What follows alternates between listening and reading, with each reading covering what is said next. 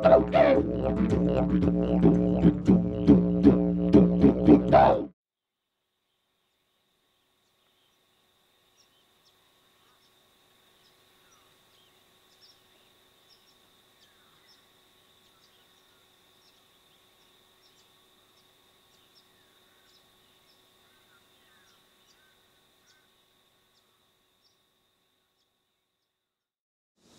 to go out in rushes, big station there and do all the rabbiting.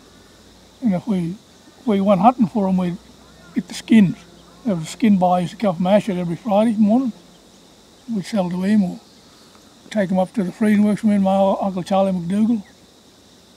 Because we he used to be was a trapper, he was, rabbit trapper, he trapped all around here.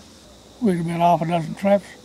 We'd run them two, three times a night to get enough rabbits to take the freezing works put them on an old bike with no no uh, tires on just the rim. So we push them up to the freezing works and get the money and come back. Go to the pictures. Then. We used to swim across in the flood, and then we used to catch all the rabbits. What we could carry back, we put them on our belts and swim back across the river in flood. We'd be there all day swimming backward and forwards, two or three of us bring them all back over this side. One's nice fat rabbits we used to eat, and the other one we take up to the freezing works or skin them or whatever.